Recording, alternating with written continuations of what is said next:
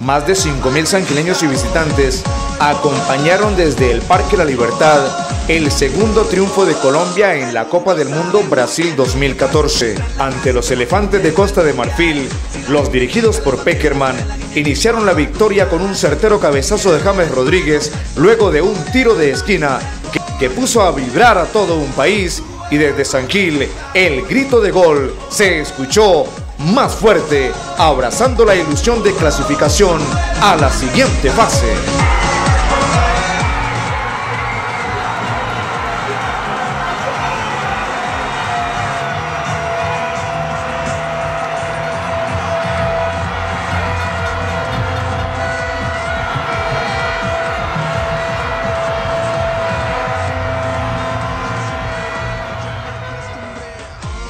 Para tranquilidad de todos, llegó el segundo en jugada de contra, un pase magistral de Teo que recibió el más joven del Mundial Quintero y en jugada individual anotó el segundo para Colombia.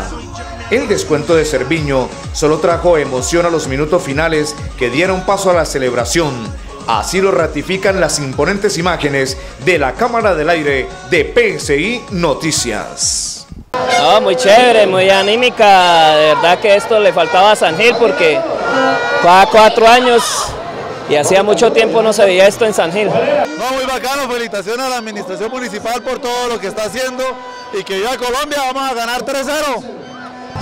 Para mí eso es un buen, una buena idea por el pueblo colombiano, así, y los habitantes de San Gil también. Eh, es una muy buena idea, pero yo estoy viviendo aquí definitivamente. Yo, mi país es Bélgica, Europa, pero estoy viviendo aquí en San Gil definitivamente.